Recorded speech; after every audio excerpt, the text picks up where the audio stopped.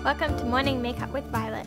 I think this is my all-time favorite eye makeup look, though that changes all the time so I'll probably say something different tomorrow.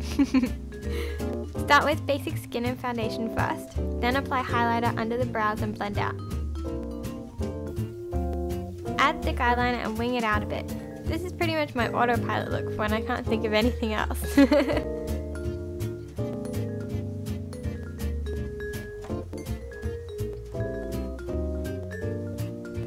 apply purple shadow all over the lid. Do you guys have an autopilot outfit or look?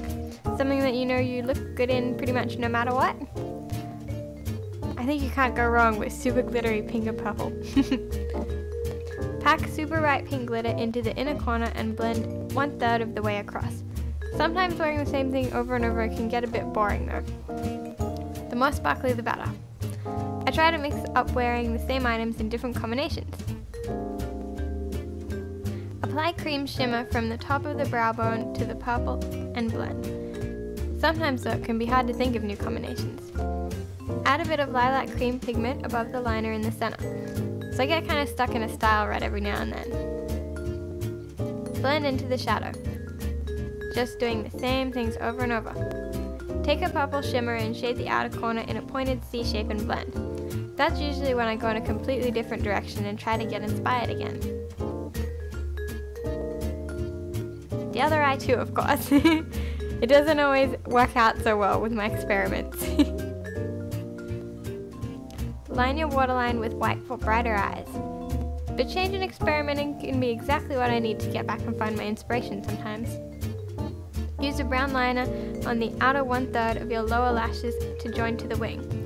It is still nice to have comfy looks you know you look good in. Apply mascara to the top lashes and bottom outer third. And you can never go wrong with a big pair of false lashes. so apply some nice thick pointed lashes. And even if something I've worn that a billion times before, it's still probably better than turning up in pajamas. they take quite a while to dry.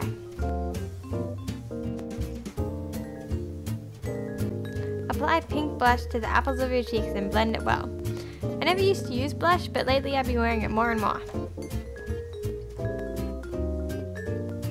Add some pink berry lippy and a nice glitter gloss. I still hate bronzer though, it never looks good on me. Lashes are still drying. I've been experimenting with highlighters lately, so maybe bronzers are just around the corner. I decided in the meantime to add some lilac cream pigment to the inner corners of my eyes to brighten them up a bit. Last step, soften the liner with some dark shimmery purple. I love the look of brown liner with purple shadow. All finished! This look is definitely one of my favorites, perfect for green eyes. Now I just need somewhere nice to wear it. Shame to waste it at home, I'll have to take James out somewhere fancy. I hope this was a useful video. Please check out the blog post linked in the description for more information and some photos. Thanks so much for watching. Bye!